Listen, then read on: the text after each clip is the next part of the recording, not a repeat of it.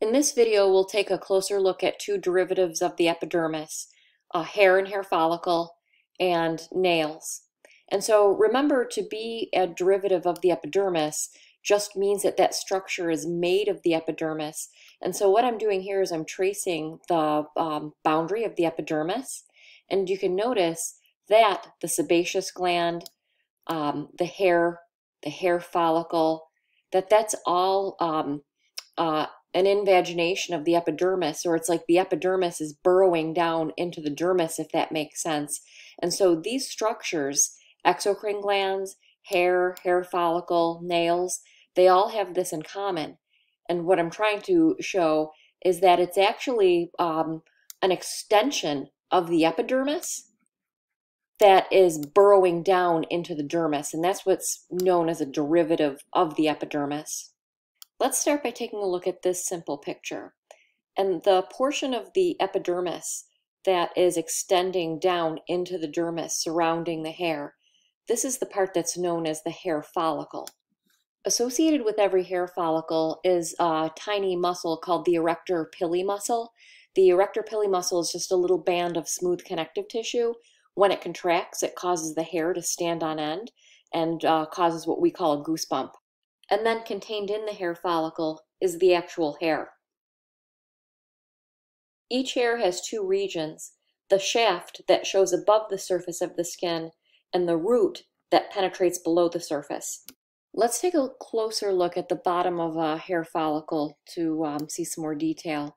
And so this white area that I'm outlining, that's the outer portion of the hair.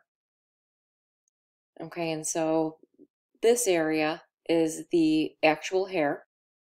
And then the pink area surrounding it and the blue area is the hair follicle. And so there are two parts of the hair follicle. There is the epithelial tissue that surrounds the hair. That part of the hair follicle is called the epithelial root sheath. This blue area is the portion of the dermis that forms the outside of the hair follicle. It's known as the connective tissue sheath. And so just like the epidermis and the dermis, let's take a look at this connective tissue that's surrounding the hair follicle. Notice how the connective tissue juts in to the uh, bottom of the hair. That's just like a dermal papilla. Uh, it's called a hair papilla and this is the area where the blood supply comes into the hair follicle. The bottom of the hair follicle that we're looking at is known as the bulb. And when we take a look at the cells that are surrounding the hair papilla, uh, these cells that surround that area are very active cells. It's known as the matrix. And the matrix is an area of rapid mitosis. So this is very similar to the skin itself. We're at the very bottom of the structure close to the blood supply are the active cells rapidly dividing by mitosis and producing the hair. We can see some melanocytes within the matrix and the melanocytes do the same thing. They produce a pigment and inject it into the keratinocytes and give the hair its color. Also in this picture, we can notice the hypodermis, the adipose tissue. Taking a closer look at the hair contained within the hair follicle, you might notice that they're using color coding to show us that each hair has three regions.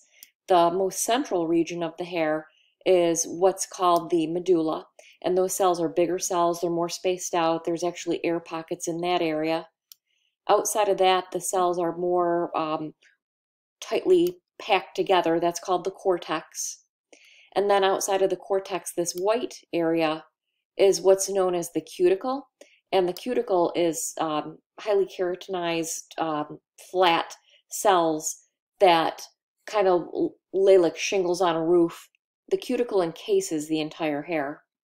In this picture, you can see that there are two types of hair, uh, both which have the same three regions we just looked at, the medulla, the cortex, and the cuticle. Uh, the hair, the pigmented hair that we would typically refer to as hair, that's called terminal hair. That would be the hair on the head, as you can see here, or eyebrows, eyelashes, etc. And then there's non-pigmented hair, like the um, hair that you can see on the surface of the face here. Uh, that's called vellus hair. Moving on to nails, which are also a derivative of the epidermis. Here we can see the free edge. We can see the lateral nail folds, which is the epithelial tissue on the sides of the nail. Uh, the epithelial tissue at the base of the nail, that's called the proximal nail fold. And then the little bit of epithelial tissue that grows onto the nail, what we would call the cuticle, that's known as the eponychium. In this view, we can see the part of the nail that is adhered to the finger. That's called the nail plate. And then there's a part of the nail, like the root of the nail, so to speak, that we can't see from the surface, and that's known as the nail root. The nail is lying on a bed of epithelial tissue, uh, known as the nail bed, and the part of the nail bed that we um, don't see under the nail plate is called the matrix, and the matrix is the same as the matrix that we saw in the hair follicle. It's an area of rapid mitosis where keratinocytes are produced, uh, highly keratinized, packed tight together in a plate-like structure so that the nail is formed in the root and then it grows outwards towards the free edge. So to finish this up, let's just compare the hair follicle to the nail bed. We know that the hair follicle is this extension of epithelial tissue that continues from the epidermis down into the dermis. And the nail bed is the same thing. So just turning this picture to this orientation, notice that the nail bed in pink also is epithelial tissue that's surrounding the nail that juts down deep into the dermis. And so the structure of a nail and a hair are very similar.